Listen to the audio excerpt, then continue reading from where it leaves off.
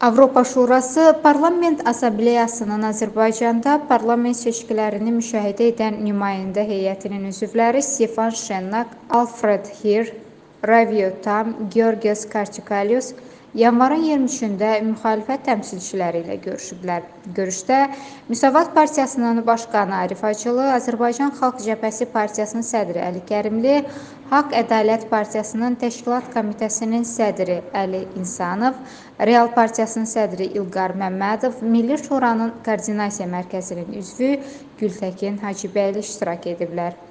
Müsavat Partiyasının məlumatına görə görüşdə seçki qabağı durum, namizədlərin irəli sürülməsi və qeydiyyata alınması mərhələsində müşahidə olunan pozuntular və digər məsələlər müzakirə olunub.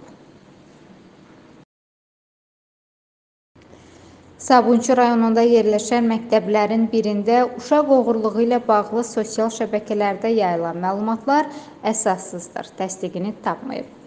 Bu barədə Bakı şəhər Baş Polis İdarəsinin mətbuat xidmətinin rəisi polis mayoru Elşad Hacıyev məlumat verib. O deyib ki, Bakı şəhər Baş Polis İdarəsi və Sabunçu rayon Polis İdarəsi əməkdaşlarının birgə keçirdiyi təxirəsalınmaz müvafiq tədbirlər nəticəsində fotoşəkilləri yayılan qadın 1965-ci ildə Xızı rayonunda anadan olan Reyhan Səfərova müəyyən olunaraq polis idarəsinə gətirilib. Araşdırmalar nəticəsində məlum olub ki, qadın həmin ərazidə kirayədə yaşayır. Əvvəllər məhkum olmayıb, sakit həyat tərzi sürür.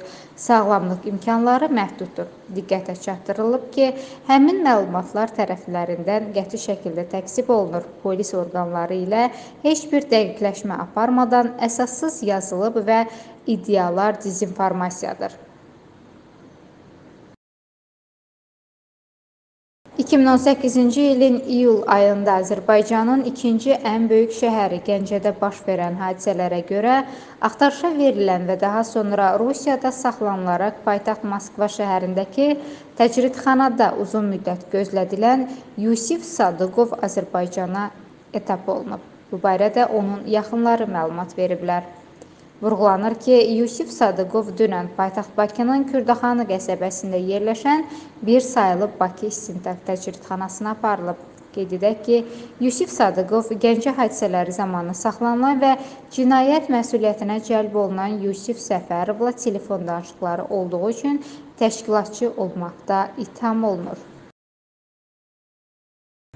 Yanvarın 23-də keçirilən müşavirədə Bakı şəhər İcra Hakimiyyətinin başçısı Ellar Əzizov paytaxt İcra Hakimiyyətinin aparat və strukturuna daxil olan təsərrüfat xidmətlərinin rəhbərlərini maliyyə məsələlərinə ciddi yanaşmağa, ayrılan vəsaitləri effektiv istifadə etməyə və mütəmadi olaraq görülən işlər və xərclənən dövlət vəsaitləri barədə ictimaiyyətə məlumat verməyə çağırıb. Bakı şəhər İcra Hakimiyyətinin struktur bölmələrinin fəaliyyətində aşkarlığın artırılmasına həsr edilmiş müşavirə barədə məlumatı bu qurumun mətbuat xidməti Dövlət İnformasiya Agentliyi vasitəsilə yayıb.